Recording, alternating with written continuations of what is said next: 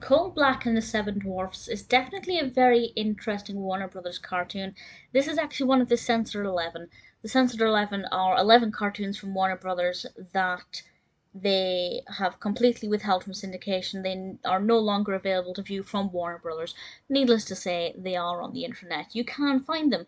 And I'm actually really pleased that I waited to watch this until I read this book, um, Wild Mind. It's an absolutely fantastic book about the history of animation. And it talks a little bit at length about this cartoon, and I'm glad that I had more context about it because actually it's really fascinating. This was written and directed, or uh, rather directed by Robert Clampett, um, released as part of the Merrie Melody series in 1943, and needless to say, it's a parody on Disney's Snow White and the Seven Dwarfs, but with a black cast. And obviously, this is banned because people are saying it's racist. But a lot of the people involved, what I'm telling you, by the way, is facts I've learned from this book. If anybody knows anything to the contrary, please do let me know. But a lot of black individuals were involved in creating this. Some of the people involved at Warner Brothers went to various predominantly black jazz nightclubs and kind of recruited some jazz music- musicians to help both with the music side of it and also with representations. And a lot of people involved in this were very happy with the representations. They saw it purely as a celebration of black people and jazz music and black culture. Obviously, black culture has various different facets and it's not all one thing, but what it was representing, a lot of individuals at the time, black individuals, thought it was brilliant. And really thoroughly enjoyed this representation of jazz music and obviously because a lot of the time black people were not represented in animation. Partly because when they did it the, the racial stereotypes were severe. You know that's definitely true. But this itself can be seen purely as a celebration.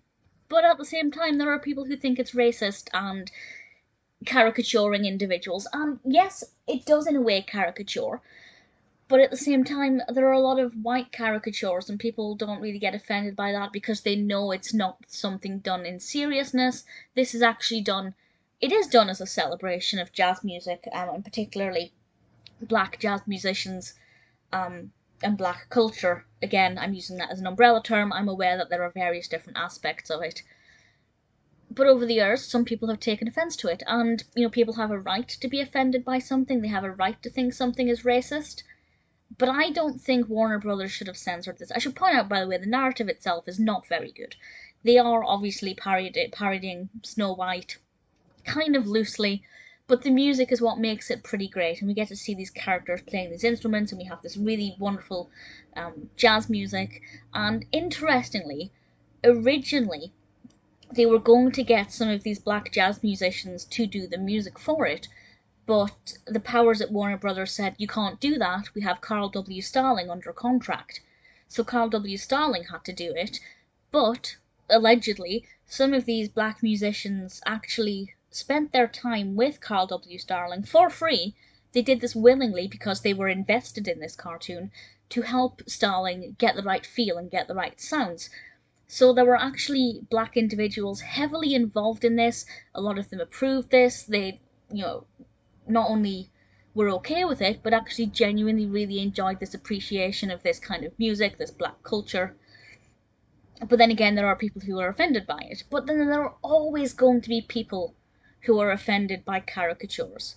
This is nowhere near as bad as a lot of Disney's versions um, of interpretations of so called black culture. And I love Disney. Disney, I prefer Disney to Warner Brothers, but this is kind of how you should. Maybe the dwarfs. The dwarfs are a bit awkward. They definitely are. Coal Black as a character, though, is actually a genuinely likable protagonist, and you know, as an animation, it's fine. It, there's nothing about it that I think is particularly fascinating in terms of narrative, but it's certainly culturally very fascinating in terms of the history. It's very interesting. But the question is, should it be censored? Are people right to think it's racist. Of course, if you watch something and you are offended by it and you think it's racist, fair enough, you're entitled to that opinion. But at the same time, when you learn that potentially your ancestors were involved, not I'm not saying every black person is related, I just mean an individual may find out that their ancestor was involved in the creation of it. Do you then still have the same opinion? Should a film rely on context? Because if I had watched this without context and without knowing that black individuals had been involved in creating it, had a, had approved of it, had genuinely loved it, maybe I would have thought, yeah, that's a little bit over the top. And if it had been just white people creating this cartoon about black characters, it would have been uncomfortable. But with all of this context, I, I don't see any problems with it. Because, you know, it is a caricature. And the thing about caricatures is that we get to enjoy our own qualities and the same with white caricatures or other caricatures. They're there as a celebration and it's supposed to be fun. There are a few things in this, by the way, that are questionable. There are a few things that did make me go, oh, even I don't know why everybody would have approved that. It's not completely perfect, but I just, I there's no answer to this question. But the question is, do you need, should a film rely on context to be considered acceptable. Because without the context, I would have questioned it.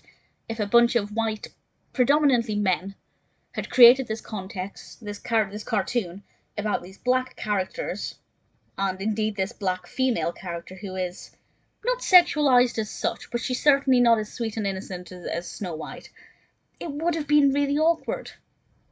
But with the knowledge that a lot of black people championed this loved it after it was released,